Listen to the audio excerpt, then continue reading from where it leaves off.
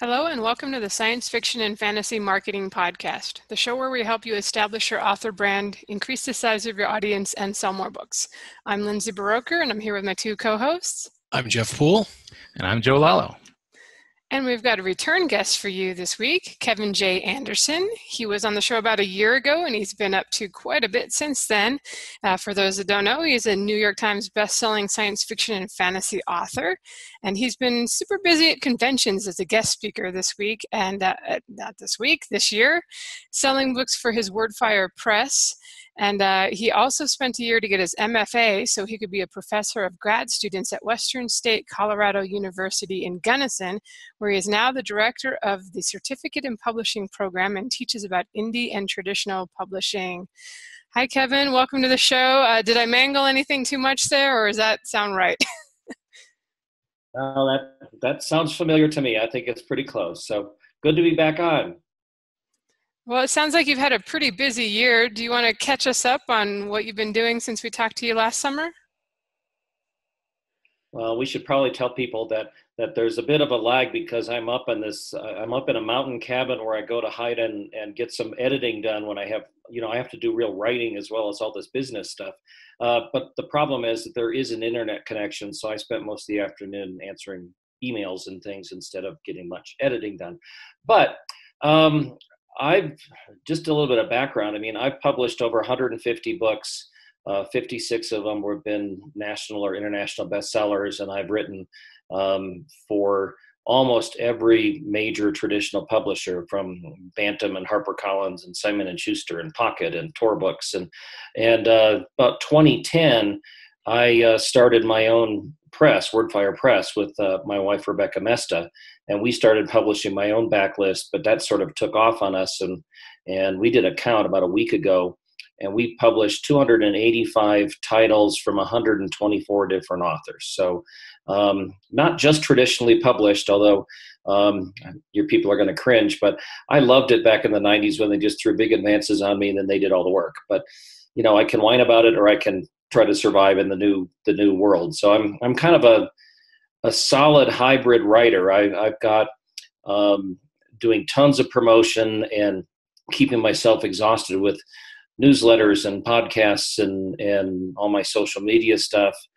and publishing books and writing books. I still have right now. I think I've got four major books under contract with traditional publishers, but um, I'm also releasing about six of my own books through Wordfire Press through the the indie channels, and so I'm kind of, and I just became a professor, so I'm teaching grad students about publishing and writing. So um, that's why I need to run off into the mountains to get a little peace and quiet for a bit. Yeah, you, you don't sound very busy. I mean, you're kind of slacking off over there. Uh, it sounds like with your experience. Well, it would be okay. good. Sorry, there's our leg. It, would be different if they just sort of, yeah. It would be different if they just uh, like gave me lots of money to write one book a year. But since that doesn't happen, um, I can either eat ramen noodles and live in a house trailer, or I can try to do a lot of other things and and uh, keep buying keep buying bonbons for my my wife, who's also a best-selling author, and she's also helping me uh, run the press. So, um, but I, I mean, the thing is, I love doing all of this stuff. I mean, I, I wanted to be a writer since I was five, and everything about me, um, all my my high school, my college, my my jobs, everything was sort of focused on being able to become a writer. And now there's just a whole lot more work in different directions, and it keeps changing. I, I feel like um, all of us indie authors and traditional authors that we're we're just running faster and faster on the gerbil wheel and wondering why it's not going anywhere. But but the gerbil wheel changes every week too, so that's another problem. It actually seems like with all your experience, you're just the perfect t- person to teach. How did you get involved in that? What made you decide to jump into that? Um, being a freelance writer has no health care, and a university professor does. but that's I mean that's that's not all of it. That that's that's clearly an important thing. But I've I've done a great deal of teaching over the years. I, I run the Superstars Writing Seminar with Rebecca, and we're we're approaching our tenth year right now, which is uh, we get about 150 students, and that's uh, very ambitious in, in all kinds of aspects of the publishing business rather than just just craft. So I've been doing that. I've been teaching uh, with with Kristine Kathryn Rusch and Dean Wesley Smith on a lot of different workshops and and giving tons of seminars at, at conventions. So I've I've always liked teaching, but um, it was kind of a shock to me that the the college student programs in English and writing and publishing are um, let's just say they're a little bit in an academic bubble and they don't really have any real contact with reality. And so when I started um, talking to some other people who teach these programs, uh, I found people that were really on the same wavelength as I am. And we, well, there's, there's a group, it's Western State Colorado University, and they have an actual MFA program in genre fiction. It's two years long and it's very intensive and it's very useful on writing romance and thrillers and westerns and science fiction and fantasy. These aren't your um, artsy fartsy uh, get a degree because you could do a free verse poem somewhere. These are real nuts and bolts, two years of trying to learn how to be a genre fiction person. And they had a to teach it. And when I started talking with them, and they, um, the people running the program uh, for genre fiction, realized that I have, I mean, I spent 13 years as a technical writer doing nonfiction uh, book design and printing for the for the Department of Energy, and I worked for the Air Force doing brochures for their laser weapon systems and stuff. And I've now uh, been about eight years running my own uh, indie press. Of course, I, I don't know, you can call it an indie press with almost 300 titles published, but uh, I still feel like that's where I'm coming from. So I had all this background, and I just wanted to be able to teach people the real stuff. I mean, this this is what it really is going on, rather than um, somebody teaching you how to submit to a literary journal where you have to pay 50 bucks for them to read your submission. And I didn't make that up, by the way, that really happened. So we don't want people to do that.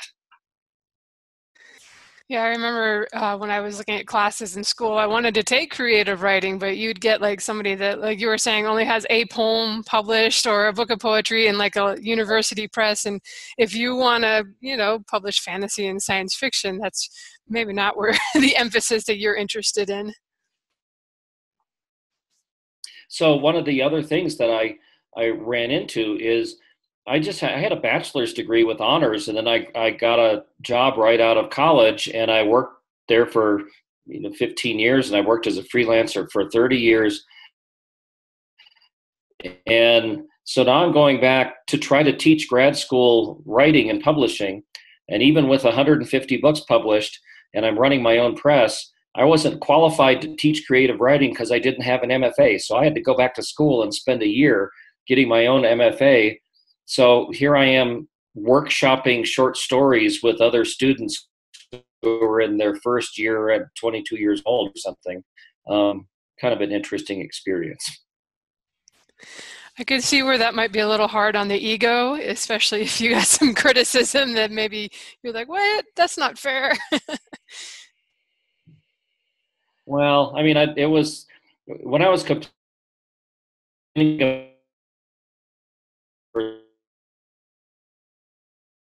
program and create it that way. Think of it as you're spending your time to teach. And so that's basically what I did. These were hoops that I had to jump through, and and uh, now I know about Freudian Freudian analysis and Marxist analysis of short fiction in the early 20th century, and um, for all the all the good that that does me great stuff every, every single day, I'm sure. But uh, I'm looking. I mean, I just spent two weeks in Gunnison, which is a beautiful college in southern Colorado. Uh, we do two and a half, you know, two weeks of sort of intensive on-site, face-to-face with the students, and then the whole rest of the year is online. And then they come back for um, two more weeks in the summer for to wrap things up. So um, I'm very happy with it, and I'm just kind of starting out. So um, that's yet another thing that I get to to keep me busy with.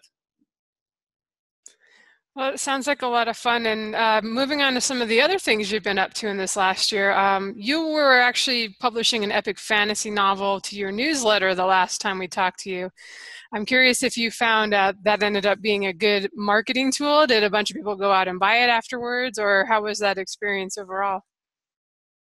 So I was writing this big epic fantasy novel called Spine of the Dragon, which I, I sold to Tor Books. It'll be a big hardcover doorstop thing and as I was writing it, um, you know, I always have a, a, group of test readers on my manuscripts, but I thought there are a lot of fans that are, they don't want to wait two years to read the book. And so I basically set up a, a subscription thing. Um, I guess it's almost like Patreon, only I wasn't thinking of modeling that.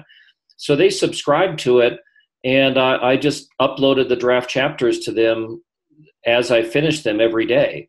And um, in fact, a lot of people might know I do most of my writing with a digital recorder. So I go out hiking and I dictate uh, one chapter after another when I'm out in the mountains, and and so they I had it that they could just um, they could get the chapters as they came back from the typist and read the word files, or for like the VIP level, I just sent them my audio files every day. So it was like Kevin Anderson dictating a, a brand new chapter to them every single day, and they got to hear me create the book from the very beginning.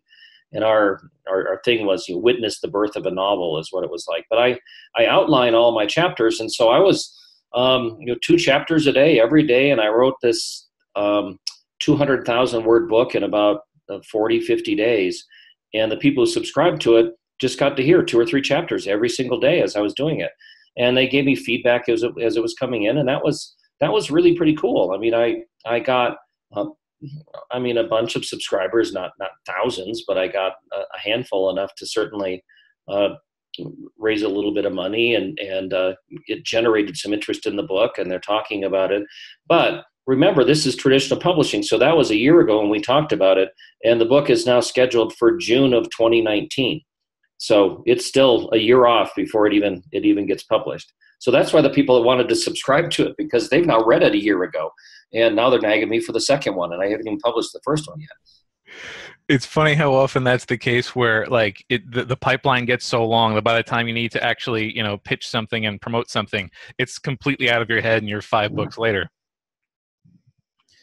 Or more. I mean, they, in fact, just just today I have a brand new book that we released, Wordfire. It's uh, I've spent about a year doing all the hard work of putting together all of my short fiction. I've got about 130 stories that have been published over the years, and I've got a four volume uh, collection of my short fiction. And the, the very first one just came out uh, today. It's called Selected Stories um, Science Fiction Volume 1. So I, I've got a science fiction one, and the next month I'll have a collection of my fantasy stories. Year after, or the month after that, it'll be um, horror and dark fantasy stories, and then following that with a second volume of science fiction stories. So we put that together, and I'm I'm releasing it in ebook and trade paperback and hardcover all at the same time because different readers want different formats. But boy, was that a, a pain in the butt. Just I mean, some of these are 30, 40 year old stories to find the original copies and, and the copyright information and just um, that was a real pain. And of course, then I wrote a little introduction for each story so that here's the inspiration for something, or or here's what I was thinking of. Because I'm as a reader, I want to get that personal thing from the author. I don't want, just want a book full of short stories. So that one just came out today as we're recording this. So it says selected stories, science fiction, and I've got. Well, let me back up because we did 2016 I really pulled out the pull out the stops. I think that was when I was last time I talked to you guys.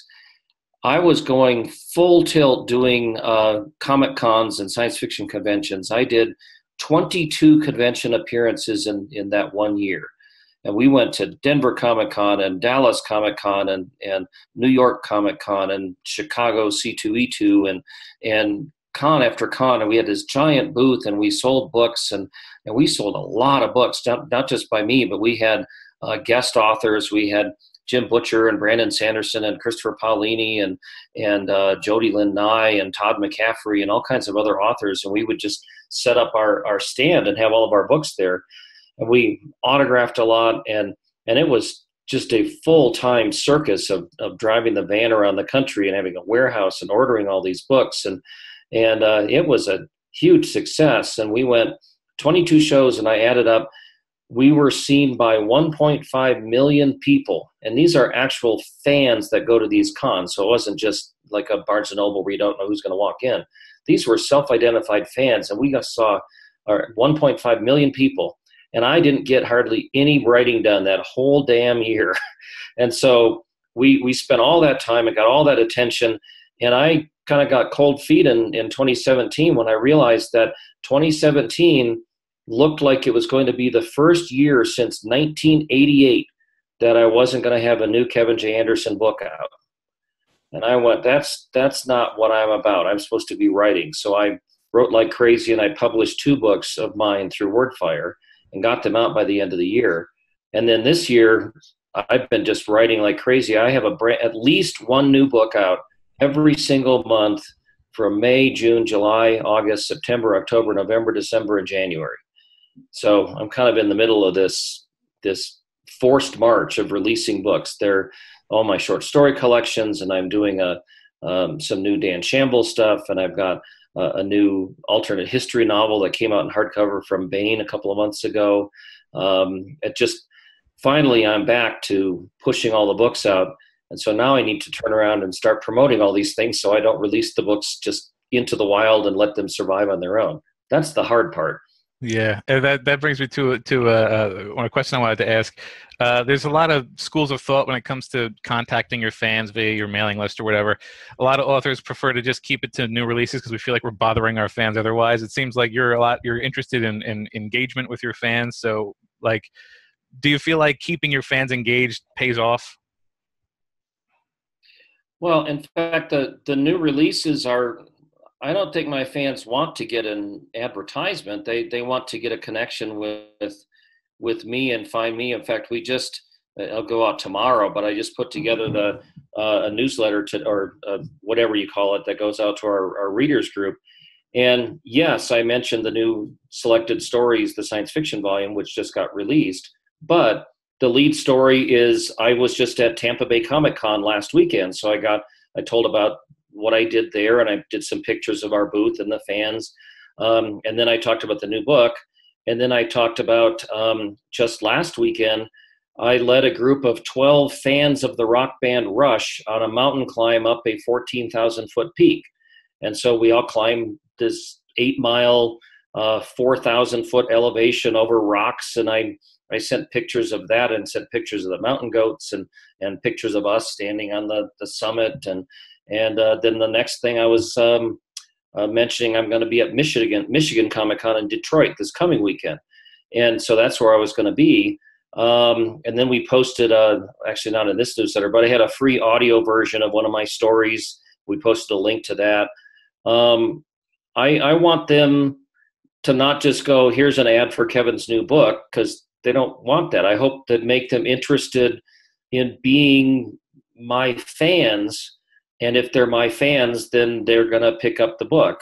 And if if all you do is go buy my book buy my book buy my book buy my book buy my book you're just going to get followers dropping off really fast. You you need to be an interesting person which means don't make it up. I mean do interesting things. Uh, volunteer for something or or go on a trip or or take ballroom dancing classes or whatever so that you're your fans see you as a person and the interesting things that you do and then the, they stick around. And you know they might not always buy everything but they'll certainly follow it and the interaction that you get um, at least makes you think that somebody's paying attention. uh, Uh, my question for you is regarding mailing lists. We've heard from several people that including some type of graphic that the person wants to see. So, you know, like whenever you get those emails, all those security programs kick in. We've blocked content because it could be dangerous, blah, blah, blah click here to allow the stuff. I mean, we're trying to. Fi- I'm just trying to figure out how people are, are able to track how many times you know that their emails are open. You know, because the tracking isn't always the greatest. Do you do something similar when you try and keep an at least try and figure out how many people open your emails on your subscriber list?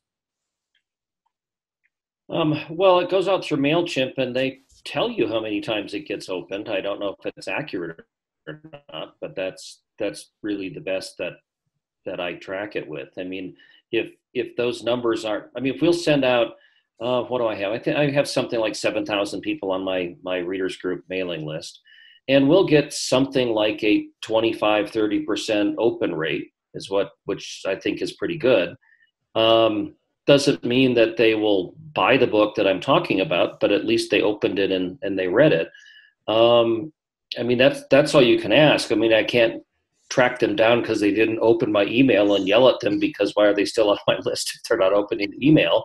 Um, it's see the the problem is these days there is no like surefire thing. You just have to do everything and hope that one percent of the time it works. I hope 1% of the time it works. You mentioned that uh, when you went to these conventions, you actually had a lot of su- success and sold a lot of books and connected with the fans, but then you had to retreat to your writing hole, which I completely understand. Just the thought about those conventions sounds super stressful.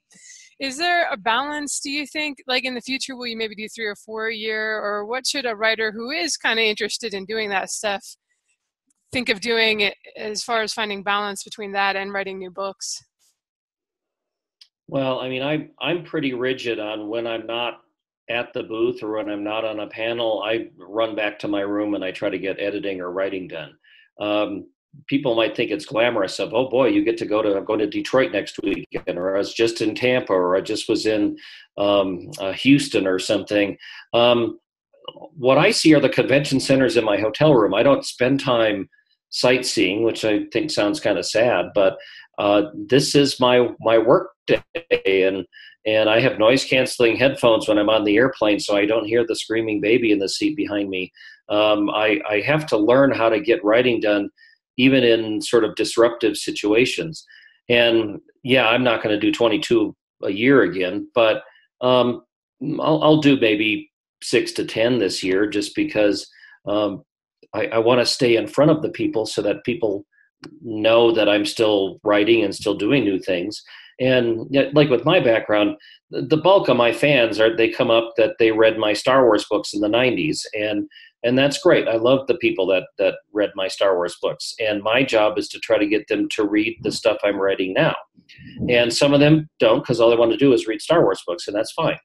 But if I can meet them and shake their hand and sign their book and get my picture taken with them and say, hey, you might really like this selected stories book that just came out, or my Dan Shamble Zombie PI book that um, I've got a series of. If if you can if you can hook just even a fraction of them, whether it's ten percent or even five percent, then those are readers that I wouldn't have otherwise. And and frankly, some of these stories that I get from the fans that come up um, that uh, you know, one one guy was going to kill himself, and he he had a, a very bad physical deformity, and he was going to kill himself. And he wrote me a letter saying that he decided not to. He wanted to stay alive and keep reading my books. And I, I meet people who are um, army vets who who um, they're finishing reading a book the night that uh, some of their buddies got killed, and and just they come up and and they explain their uh, their experiences. And I mean, I I can't match any of that stuff. I'm just making up planets and starships and and and blowing up characters. And I just to get this firsthand reaction from readers and how my book affected them at a certain time. Uh, it, it you can't get that from not going out and meeting people. So um, I, I, try to have the personal contact as much as I can. Um, but again, you don't want to be the guy who promotes all the time and talks about the book he published seven years ago because he hasn't written anything since. Uh, I I got to balance getting my writing done and getting books out um, with selling them. And on the flip side, if you don't sell any of them, then you don't really make a living by writing either. So it, it is a big balance. It seems like, especially when you have so many books out, and I assume now that you've kind of got the rights back and you're publishing them as ebooks, that you actually can make money from books you published 20 years ago. So, do you are you kind of struggling too with balancing how much time do I spend like trying to promote my backlist stuff, and maybe how much time getting new stuff out there because I, feel like i'm going to be in your shoes one day I'm, I'm, pretty prolific so i could see getting to the point where i have 150 right. books out there Well, I mean, you, you promote the front list, but because you're an indie author, you can keep selling the old stuff. I mean, people are still buying my first Dan Shamble book, even though I've got six of them out now, and they you hope that it keeps it keeps building. But um, back in traditional publishing, your your book like came and went, and then it was out of print in a year, and that doesn't happen anymore. And for in fact, now you like wish things would go out of print faster so you get the rights back to them. Um, that's the thing that is completely different with with indie publishing is you know if i'm selling five copies a month every month for five years that's a lot of copies. I'm still happy with that. Plus you keep all the money instead of giving 85% of it away. So that that helps. And you know you it, you never know which which raindrop is going to hit the fan at the right time. I mean you, you have a lot of books. Somebody might catch this short story. Somebody might catch a, this podcast. Somebody might meet me at a convention. Somebody might find one of my books in a used bookstore. Somebody might recommend it. It it's it's like a drip drip drip thing. You never know what's going to work so you have to do everything and hope that enough of it works that that you can buy enough macaroni and cheese to live on yeah, and that's that sort of like brings me to to the question I have about uh, when you're doing all these conventions. It seems like there's a, a, lot of like algebra that goes into determining whether a convention trip is worth it, and because there's the actual like money that you would make from the convention versus the the money it costs to attend the convention. If you're not a a, a guest of honor, then you're paying to go to the convention. Uh, and then there's the lost writing time. So, like, how do you measure the success of a convention? Well, and I'm I will be kind of blunt because of my who I am as an author. I do get invited as the the guest of the con, so they'll at least pick up my my plane ticket, my hotel room. So because they they have me on panels and I give give lots of talks. So that part isn't really a factor for me. But on the other hand, if I'm giving up four days and getting not nearly as much writing done, well, what do I get out of it? Well, I I do hope that I get a lot of fans. Because it's our own table, then I'm selling my own books, so I'm getting the bookseller profit of it, not just the the 10% royalties that you get from a like a traditionally published book. Um, I'm meeting more fans. I'm getting names for my my newsletter, um, uh, the readers group. I'm I'm getting people to sign up to the Facebook page and the Twitter feed, and um, you know it, it there is no accurate measurement. I mean, you just have to feel yourself. Is this something that you like to do? Is this something that you feel is is beneficial to your career? Now, there, you know, you might argue I'm I'm a new indie author and I've only got um, two books out and nobody knows who I am. Well, I just had one of our uh, our superstars writing seminar graduates was also at uh, Tampa Bay Comic Con, and he had uh, he had his own table on Author's Alley, and he had his own um, you know, retractable banners and stuff. And he shipped in 60 copies of his book, and he sold all 60 of them by Saturday afternoon. Um, so he could pack up and not even go the, the next day if he didn't want to. But that's 60 books. I'm, I'm doing the numbers in the top of my head. 60 books he sold for 15 bucks. I think they cost him um, four bucks each. So what's that? Eleven dollars profit on each one. So that's six hundred and sixty bucks he made from selling his books. Um, I don't know if he got a cheap plane ticket or or what his hotel room was. Um, six hundred and sixty bucks is probably more than more than he spent to get there. Plus, he sold his books. He got new readers. He got hundred new names for his uh, newsletter. Um, and I think he got to see his girlfriend in Tampa. So it all that's probably the defining factor there. Um, but go if you if you like to, and uh, then you'll start making connections too. That uh, I'm sure he met. I know he met other indie authors. Then he's maybe joined some some of their support groups and and uh, uh some of their mailing lists so that they can help each other out. And you guys know that that everything about this is all networking and and uh, everybody helping each other out rather than being you know ruthless and independent and if you're a new author just meeting other authors at your level um, really helps i mean i mentioned earlier that i teach with dean wesley smith and kristine kathryn rusch they they're both huge giants in both the indie field and professional. Chris has won like every award in the genre, and she was editor of fantasy and science fiction, and she's published. I don't know, 50, 60 traditionally published books, and she's a best selling author. And Dean is similar. I think he's got 500 different books that are out. We all met when we were brand new authors with only one short story sale among us. So we've known each other for 40 some years and we've we've helped each other through the whole time just passing on information or um, hey did you know this anthology is open or this editor just ripped somebody off or um, here's how you can um, promote for certain award or something like that. You can listen to me talk to somebody else or try to teach them but you learn the most from your own peers. And if you if you have your own group of writers that are about your level of experience then you'll get a lot of information from them because you're all sort of discovering things at the same time. And by meeting people at these conventions you'll get a lot of advice that you wouldn't otherwise get so that's another thing and you know depends on where you're going some Tampa's great, and and um, I haven't been to Detroit in probably 15 years, and um, I go to New Orleans or San Diego or San Francisco or places that I like to go to. And if you're if you're an author and you never travel anywhere, you're going to have a hard time describing things you've never seen. So that helps you as a writer too, just to meet different people and go different places. Very, very true. My question for you with regards to the conventions and whatnot. I mean, I've, I've spoken with several authors who feel it's better when you attend these conventions, attend them together. Therefore, you can try and split up the cost of the table and the booth and everything. So, my question is what advice would you give to an author who is planning on attending a convention for the first time?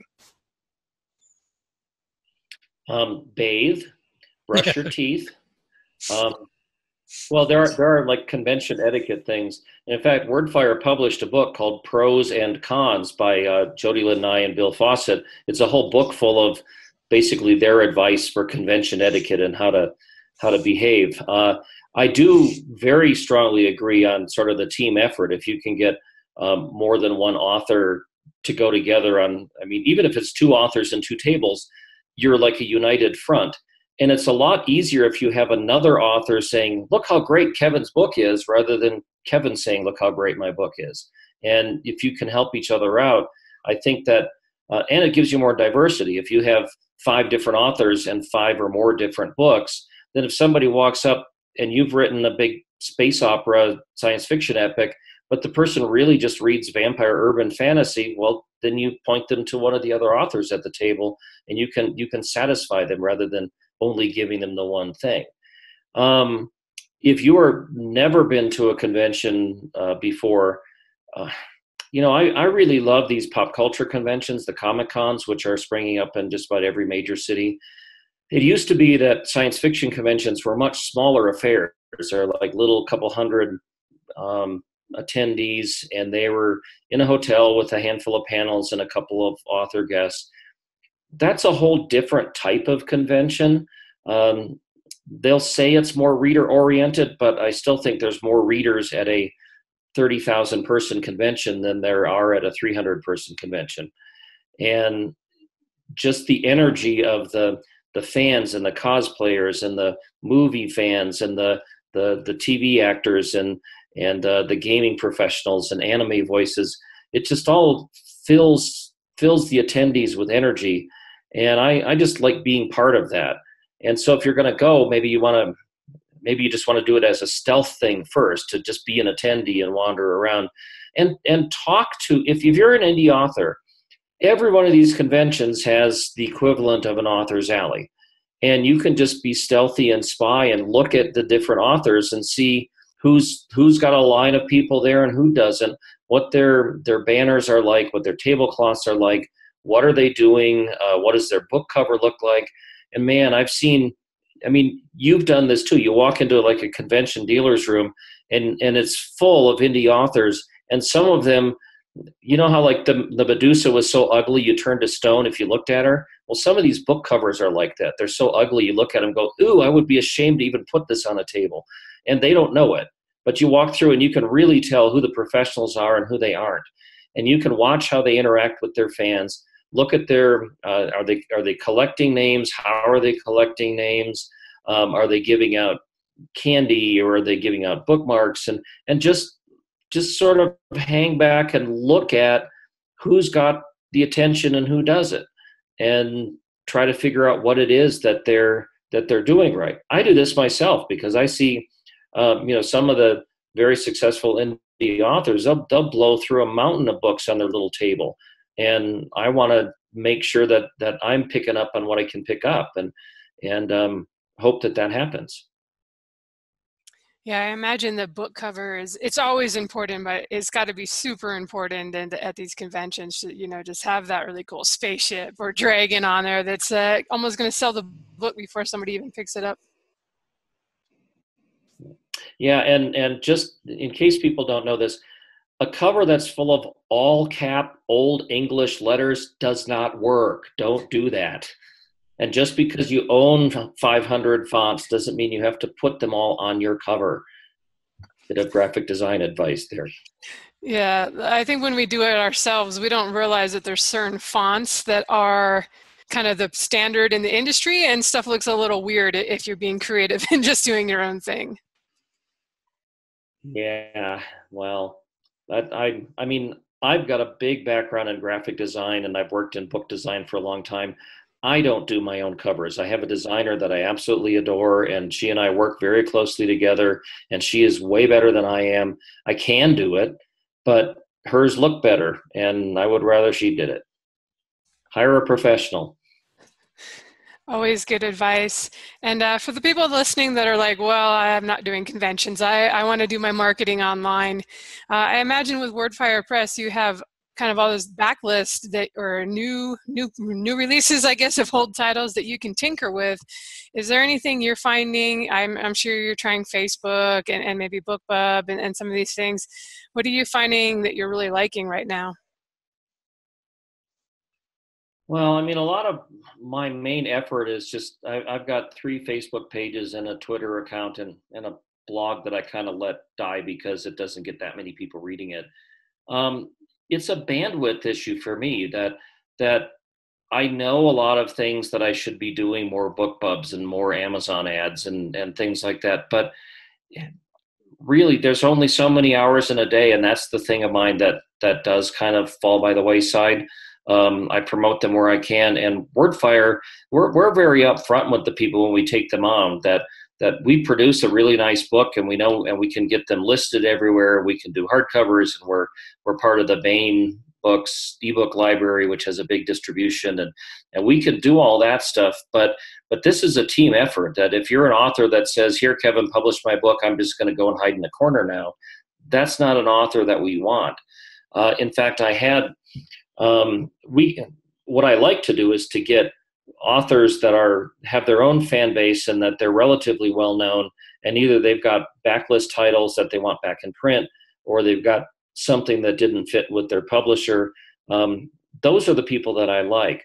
But we did have somebody uh, an author that that i knew uh, from the 90s a person who had published like eight or nine books from HarperCollins and had done quite well and was nominated for a couple of awards and got some starred reviews and was a was a known person. She um, appeared in Locus magazine and everything. So this is somebody that that I was familiar with, and I got contacted uh, by her, and she said that. Uh, she had been dropped from her publisher because they were cutting out the mid list, and and she had a new book and wanted to know if Wordfire was interested. And I was interested because she's a, uh, I mean, an author that I knew. I, I, I recognized the name right away, and I'd like to have uh, the author's name on our on our list of authors. And I thought, well, this is kind of cool. And I was like just going to jump on it because I, I know that the book was going to be well written, a very well experienced author with a, a good track record. And so then I did, you know, kind of like when you go on a blind date, you do a Google search and try to figure out who the, the, the background of this person is. And I found that this author doesn't have a blog, doesn't have a Twitter account, has a Facebook page with 65 friends on it. And the last posting was a month ago. And the posting said, crap, I have to go to the library tonight and talk about my book. I hate to do that. I'm never doing it again. And I thought, uh, no, this is not a person that we can put on our on our list. I'm sure the book is wonderful, but if you can't do anything to sell the book, then I, I can't do anything with the book. I, I need to have an author who really can push the books. And because we're doing a lot of the heavy lifting as far as the, the design and the publication and, and getting the reviews and, and getting it in distribution systems and everything. But it doesn't exist in a vacuum. I need to have the author champion it, championing it too. Don't ever say that word in dialogue. Championing. Yeah, it's tricky. There's a lot of there's a lot of sentences I've put together that I don't envy my narrator for having to read. But um, uh, so I have a question about when you're when you're pre- preparing your own. I can't talk either. When you're preparing your own novels, uh, like do you check what the what the market looks like and try to plan your next and adjust your next novel to to meet what the market demands, or do you just sort of trust that you've got the following now that you don't need to do that anymore? Well, I, my my writing schedule is so backed up, and I've got the books that I'm I'm planning to come out. Like I said, whatever, one a month or more from May through January. Um, it's always been a really dangerous thing to to say um, steampunk vampires are hot right now, so I'm going to write a steampunk vampire book and try to publish it. Um, that's usually a recipe for disaster. So I I don't. But again, I'm I'm a I'm not your typical person because I have 23 million copies in print and I've got 150 books and I've got a big mailing list and I've already got a solid fan base. So if I, like I just published the selected stories thing, this is my collection of science fiction short stories. Well, I don't know if there's any market for that, but I'm pretty sure that I've got 500 to 1,000 of my fans that'll buy it. And if these are all reprint stories anyway, so that's my risk is very small. If I'm going to write a brand new novel, uh, well, my, my big indie series is the Dan Shamble zombie PI books. And the first one is Death Warmed Over, and I've done Unnatural Acts and Hair Raising and Slimy Underbelly and Tastes Like Chicken and a collection called Working Stiff. Well, I just wrote Tastes Like Chicken last year, just completely on spec. I wrote it. Um, and then we published it. So that means that um, well, I married one of the best editors in the business, so I sort of get a, a pass when she edits that, so I don't have to pay for that. I have to pay for the cover painting and the cover design. Um, uh, we have a production editor who does our, our production. We always use Vellum to get everything done, so that's that's quick and easy. And so the book came out, and and it's in three months. It's it's sold a fair number of copies. I mean, I'm not Hugh Howey, but it's sold enough to have been worth writing and it will keep selling because it's not like a traditional book. Um, I will keep whatever a, a, hundred copies a month or something, and then because it's now part of a series, we're looking at you know dropping the price of book one and running a bunch of Amazon ads and connecting them all together. Uh, it I know it's a good idea. I just you know need to have the brain cells and the time to do all the stuff that I need to, and that's always the big question because what I'd really rather be doing is just just writing, but you got to do it all. So, uh, what strategy would you recommend if an author is unable to release, let's just say, uh, because everyone always says, you know, if you can release titles, multiple titles, one right after the other, that's a great way to build up fans and whatnot.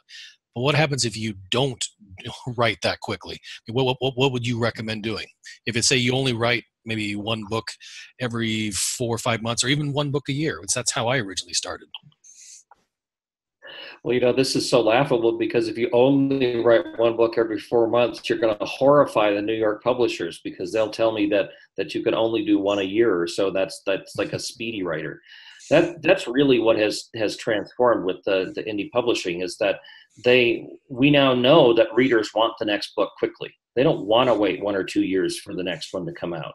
And so if you can bring it out faster, then then you can. But here's one of the, the drawbacks of, of what you suggested.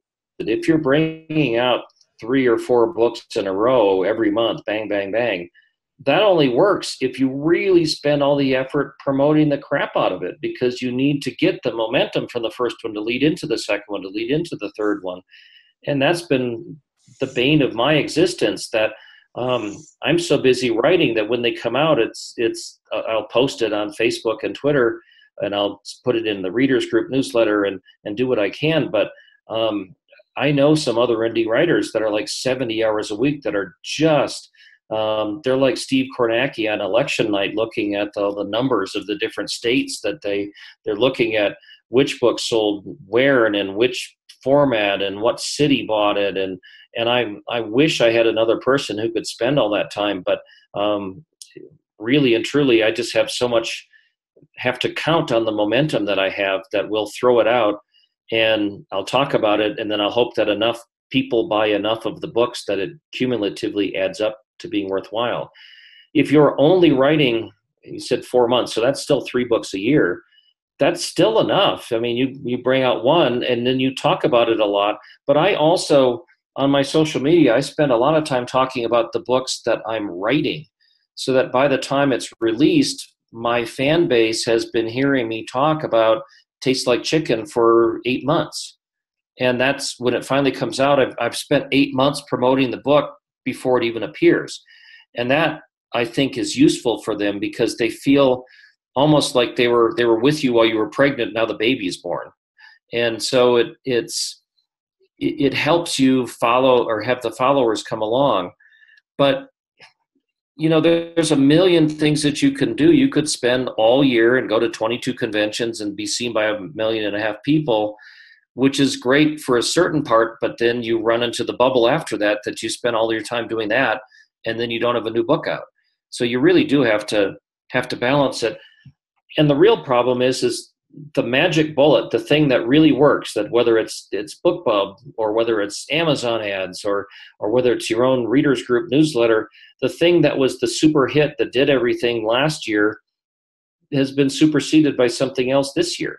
And um, I mean, I I was talked into getting an Instagram account because that was the big hot thing. Because I've had Twitter and Facebook and blogs and everything else, and I'm delighted. I have thousands of followers on my Instagram.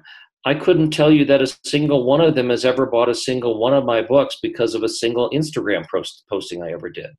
But that's another ingredient of having the fans understand who you are as a person because instagram i'm posting pictures of my hikes and the waterfalls and the the chipmunk i saw on a rock or the summit of the 14000 foot peak i just did so it there isn't a one-to-one correlation but it helps build their um, they feel a stake in you as an author and the book you're working on especially if i'm say i'm doing a a, a canyon hike or a, a sand dunes hike or something, and I'll do pictures of it, and I will say, and I wrote chapter five in Spine of the Dragon while I did this hike. So it just it's that one little grain of sand that goes into uh, their thoughts and and what is it marketing you need seven impressions before people actually start paying attention um, something like that so so that all helps but there is no here here's my miracle solution do one thing and see what happens I'm laughing because we had an Instagram pro on a couple weeks ago and I just started my first Instagram account. So we'll see if I can and manage to keep it going along with everything else.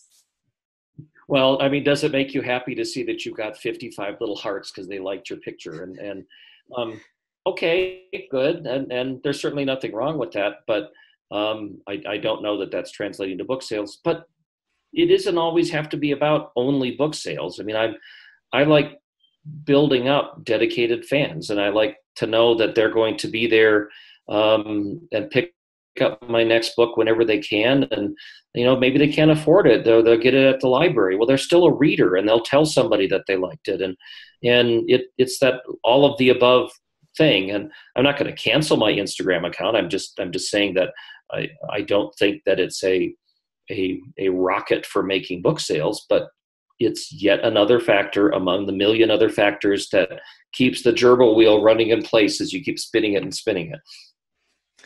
Right. And there's some things that you may just as a person be more excited about. Like if you're taking all these pictures of your hikes and, you know, I just got a new puppy. So I've been sharing pictures of the puppy in between. Oh, here's some character art and uh, stuff about the new book.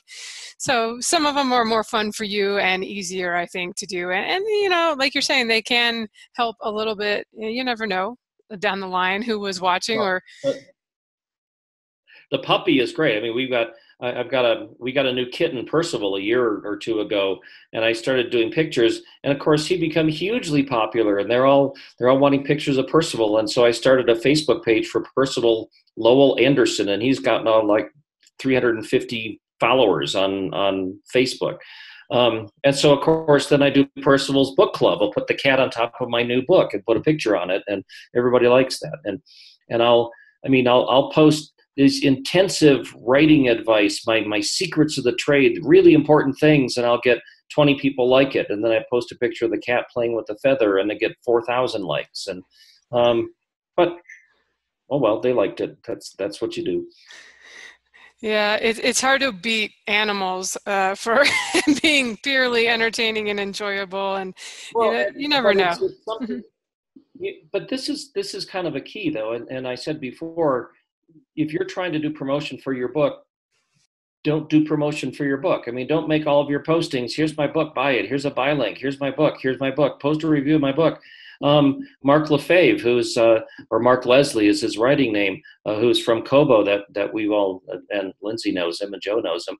Um, he carries around a skeleton in his car and he drives around with him and he's got pictures of himself with his skeleton. And the other thing that he does is he's a big microbrew fan. And as hi mark i've got an ipa right here. Um, every time he goes to a bar he takes a picture of whatever beer he's drinking. And it's he's got it's like an app that lets him tag the beers that he's drinking. And and he gets followers from that. And so people are are interested in that aspect of him. And everybody who's interested in him because of his beer drinking um, is now at least peripherally interested in him as a writer because he's the writer that drinks the kind of beer that they like or or Lindsay's the writer with the cute puppy, or Kevin's the writer with the goofy cat, and um, whatever you need to do is going to help and, and add up. And uh, it's exhausting, but hey, if, if we were low energy people, we probably would have gotten a real job instead. Very true. I work a lot more now that I'm doing what I love than I did when I was uh, just making money before. Yeah, the the joke the joke was that when you're self-employed, you only have to work half time, and you get to choose which 12 hours of the day you work. That sounds about right. Um, so we've been talking for a while. I wanted to go ahead and throw in a question from Twitter. This is from Andre. You've kind of been talking about this stuff, but what advice would you give to an mm-hmm. indie writer on branding and how to find fans? Well, I mean, that, that's kind of what we were just talking about. That you don't just say here I'm an author and here's my book. That you, um, I, I'm a board member of the the Challenger Learning Center for Space Science Education, and I do a lot of space stuff, and I help kids learn about space. Um, like I just I said earlier, I'm a professor teaching grad student stuff. I like to climb mountains. I've got a cute cat. Um, I, ha- I own my publishing house. I go hiking all the time, and I send hiking pictures. You need to make yourself into an interesting person um, and people will, will will gravitate to you from all these different directions and at the core it's you as the writer um, one bit of advice that i would really tell people to steer clear of is don't become a political ogre i i don't think you want to make your name by being a a gun nut or an anti-gun nut or a Trump supporter or a Trump hater or, or whatever. That if that's if that's the way that you get your followers, you will lose as many followers who disagree with you as you gain that agree with you. And then it becomes this constant. I don't like to argue with people. So if it becomes a political thing, you're just arguing with people all the time. And I would, I would advise you to steer clear. I mean, unless that's what you want to do is a political cause but don't grab onto a political cause because you think it'll get publicity for your book. Uh, that becomes the um, uh, the chain around your ankle that you can't get off. Um, start now. I mean, start your social media groups. Find find your friends. Find fellow colleagues, people with similar interests. Uh, start gathering names for your readers group or your newsletter. Uh, again, like I said, there's no one answer. Find out. But like what, like what Lindsay said is important. If you don't like to go to cons, then don't go to cons.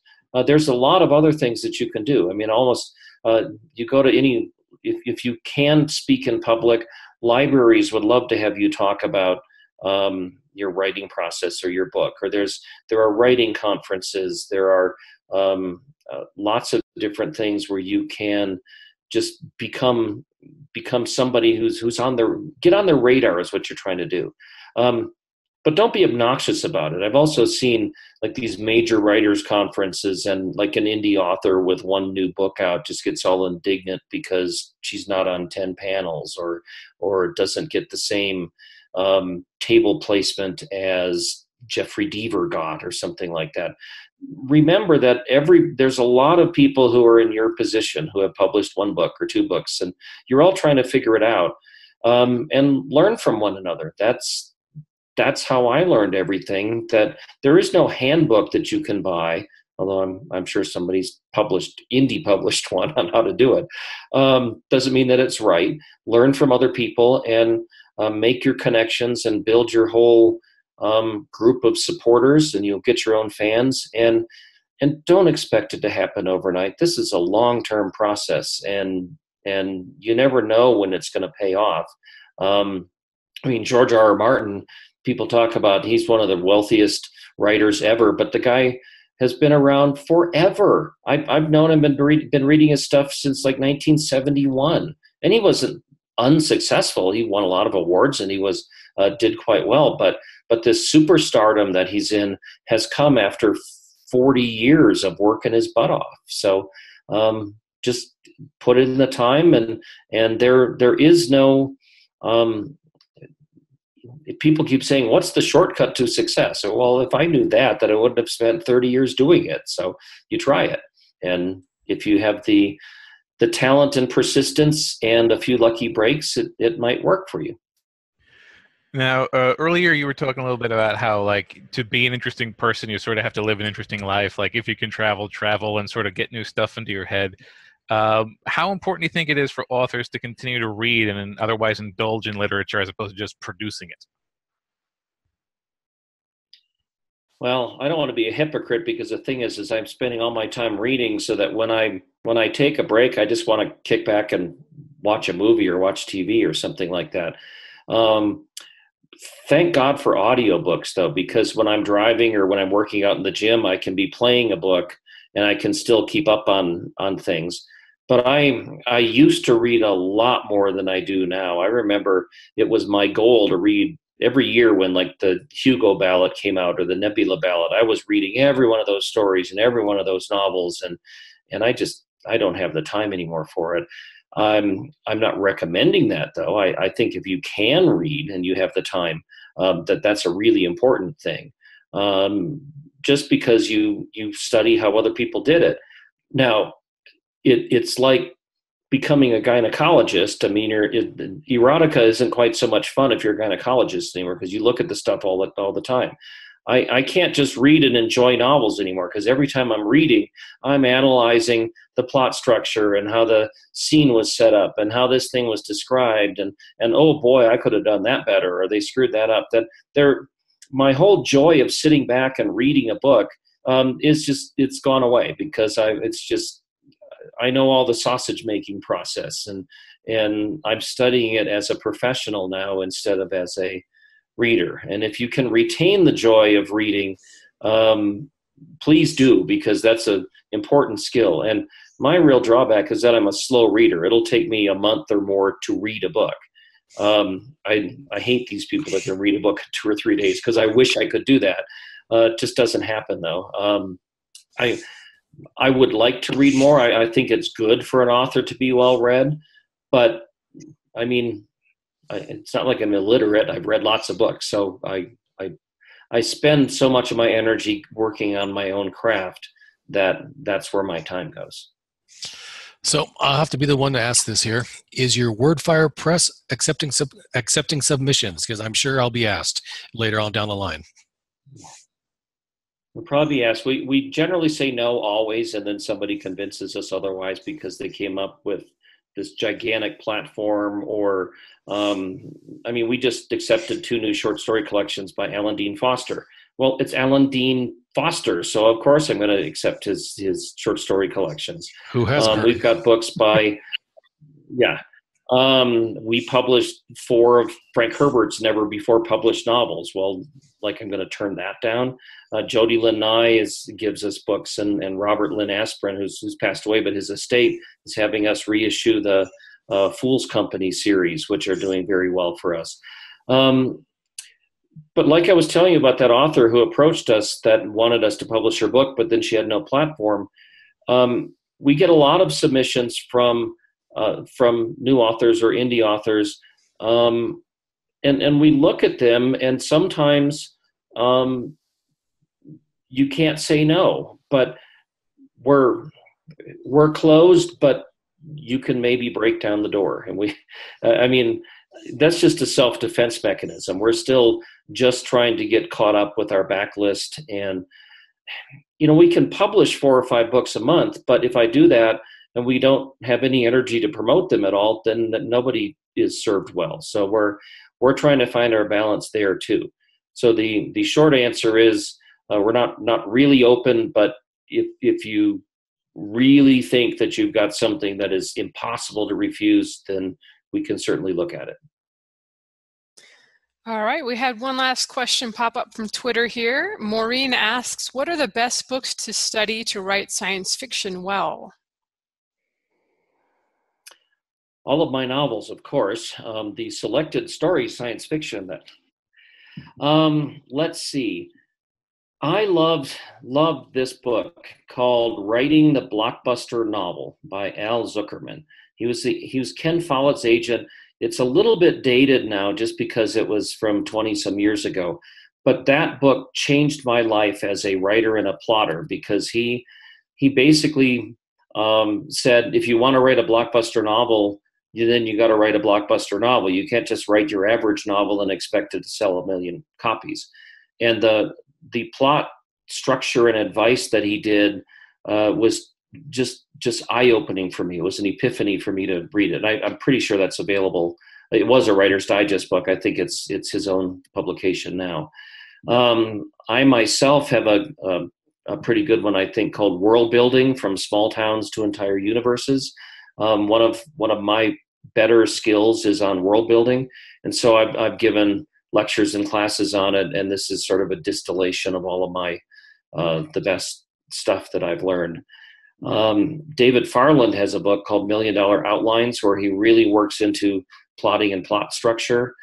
Uh, I like that a great deal, and it's very useful. Um, those are the ones that come to mind. I mean, I, I don't spend a lot of time reading writing books. Like I said, I don't have time to read the fiction either. But um, I'm not tucking you out of it. I just don't personally have the time for myself. All right, great. I will put those books in the show notes. This is going to be episode 194 for you guys that are listening and want to pop in later and get the links there. And I guess just to wrap us up, Kevin, if I was a student in your program coming in today and I wanted to know should I traditionally publish or should I self publish? Uh, what kind of advice, now that you've done it all, are, you, are you giving new writers these days? Or be a hybrid. Yeah. Well, hybrid is kind of what I what I push at. I mean, the the real, real problem with traditional publishing is the time. Uh, and if it's three years before they will respond to you, and then a year or two years before they publish it, and you're writing five books a year, well, you can see how that's that's problematic. But on the other hand, traditional publishing, you don't want to minimize the things that they do for authors as far as the the development developmental editor that they hire, the copy editors, the proofers, the art directors, the the marketing departments. I mean, they this is stuff that you have to do by yourself. Um, I, I would love to just be traditionally published if we were back in the 90s because that really worked. But I I'm not having a crystal ball, but um, I'm kind of looking up at the sky and seeing this big asteroid coming and deciding whether I want to be a dinosaur or a mammal. And I, I think that as an author now, you really need to learn how publishing works and make the decision for yourself. There weren't any choices back in the 80s or 90s that you basically had one path. You went to traditional publishing. And now there are different different routes that you can go to, but it requires you to become an expert in all these things that you you didn't used to have to know. So buckle up and and do your homework and and drink a lot of coffee. I think. All right, sounds like good advice. And um, could you wrap it up here? Tell us your uh, you've got a story bundle coming up. You you've got a new podcast you started this last year. Do you want to mention anything that uh, folks can go check out? Well, I guess ju- just today, my selected stories science fiction came out, uh, which is 19 really good stories that I've, I've compiled, and I really like that.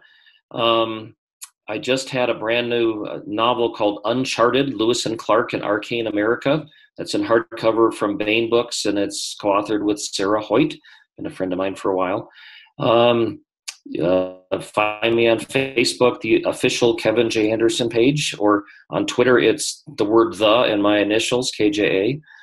Um, let's see. Um, and on all those things, there are like signups for my readers group, and you get free stuff and everything. But um, I'm just, if you can't find me, that I'm not doing something right because I should be easy to track down. Um, and I've got, let's see, next month I'll have the selected stories fantasy volume out. And the month after that, selected stories horror and dark fantasy. And then I have a new Dan Shamble collection out. And then I have the selected, the second volume of science fiction stories. Spine of the Dragon, the big fantasy that I was telling about, that comes out next June. I'm still I'm still editing that.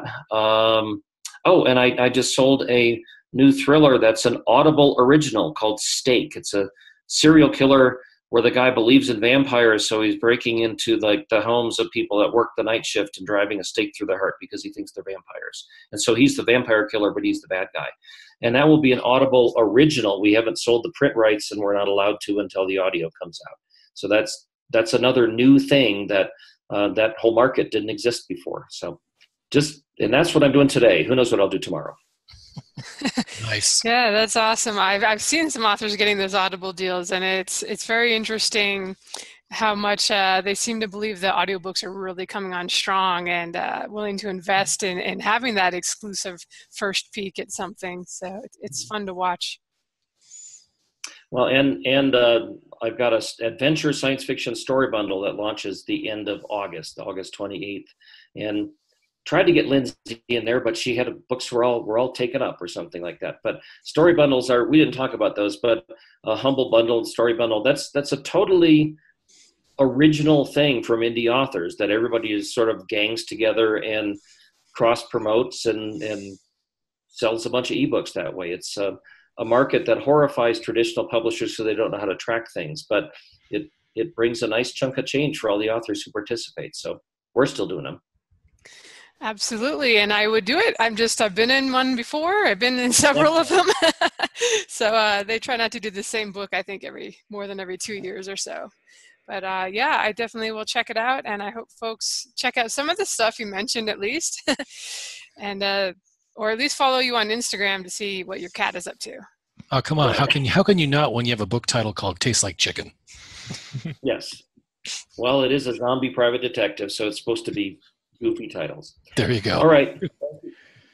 Thank you very much. I'm glad to be back on after after. We appreciate you hanging out with us. All right. Thanks for listening, everyone, and thanks for joining us, Kevin. Have a great week. All right. So long, everybody.